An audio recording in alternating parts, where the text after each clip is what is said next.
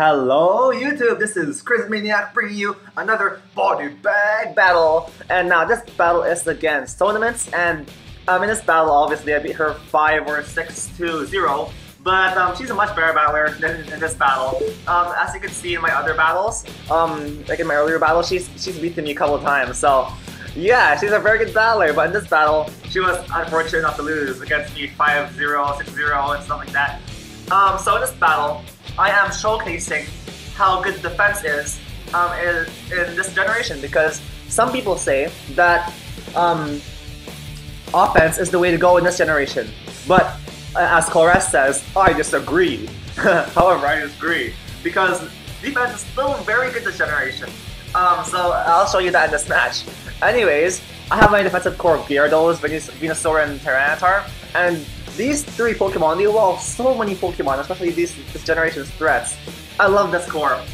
So, um, yeah, let's go on to the battle. Anyways, um, I have my Venusaur right here. She's taunting with her two birds, and I can't really use uh, anything with my Venusaur, so, I switch out right there.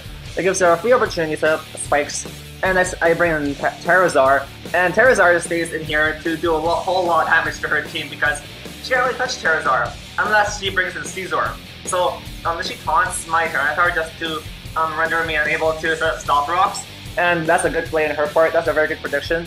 Anyways, she does quite that, um, sending her Scizor to just bullet punch my Tyranitar away, but my Tyranitar packs the Fire Fang, and they get the crit right here.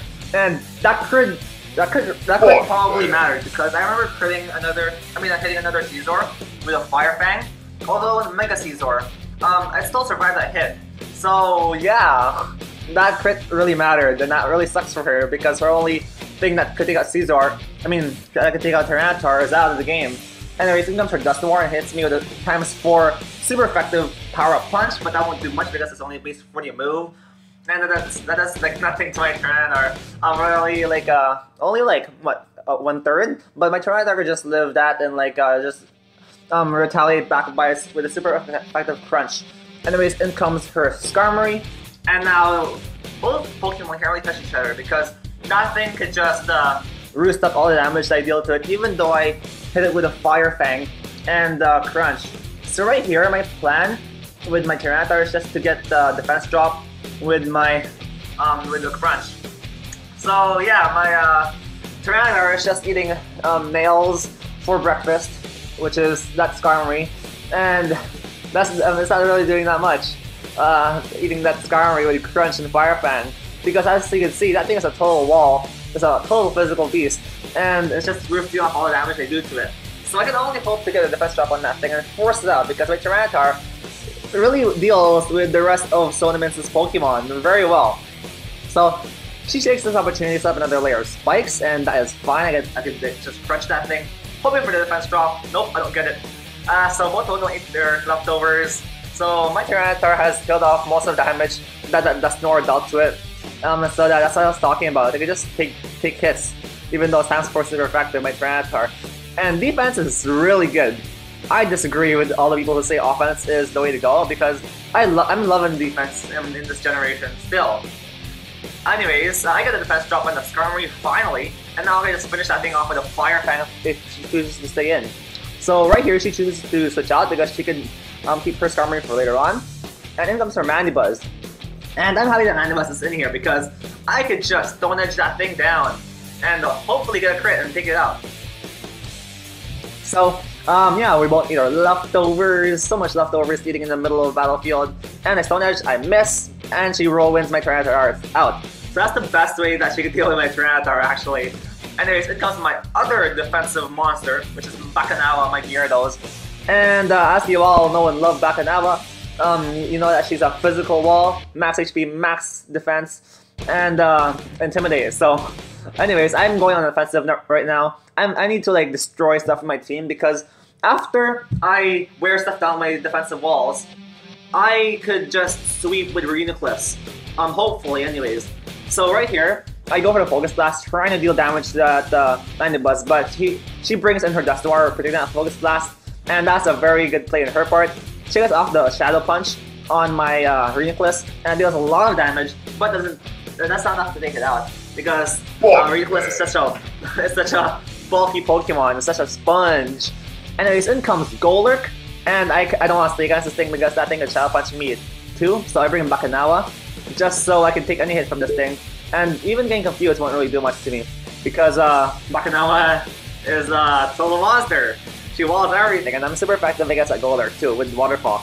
Anyway, she sets up a substitute in the switch, and she um, she goes for a Focus Punch. And that really doesn't do much against my Gyarados, and I can just roar her Golurk out. So yeah, she's hitting my Pokemon like waves on a cliff, but that cliff is standing strong, not really, uh, not, give, not giving away um, to uh, the to the sea, to the ferocious sea that she's trying to throw at me. Um, yeah, like my uh, like my metaphor, it's really awesome. just kidding. Anyways, um, my Pokemon is walling her offensive Pokemon just um, all day, every day.